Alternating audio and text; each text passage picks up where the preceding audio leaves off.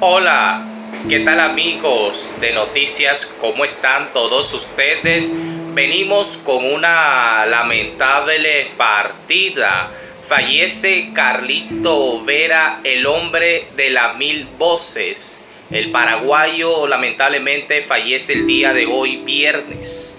El humorista músico Carlitos Vera falleció en la mañana de hoy a los 71 años tras permanecer hospitalizado debido a las complicaciones derivadas a la pandemia.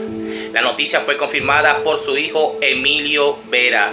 Lamentablemente amigos, el hombre de las mil voces sufrió anoche una descompensación luego de haber estado mejorando su estado de salud. Según comentó su hijo a un medio que el mes de julio Carlito Vera fue hospitalizado por la pandemia ya desde hace varios años estaba quejado por la enfermedad de Parkinson. Fue intubado el pasado 4 de agosto. Mil voces y un solo corazón brilla en el cielo. Descansa en paz, papá. Te amo, escribió Emilio en su cuenta de Twitter.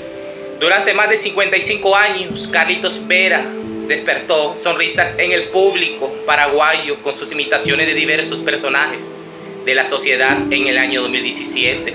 En coincidencia, en sus 69 cumpleaños, había presentado el libro autobiográfico El hombre de las mil voces.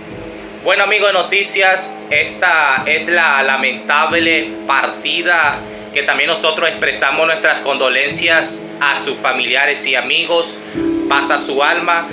Yo soy Entérate con Víctor y nosotros nos vemos hasta en el próximo video.